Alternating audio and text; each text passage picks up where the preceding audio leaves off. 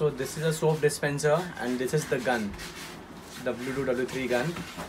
Now this part needs to be fitted here in the front side. So you just need to take this and push it inside like this. Hmm? so it will get locked like this. And if you want to remove it just pull this part here and it will come off. Hmm? now to fill inside it opens like this.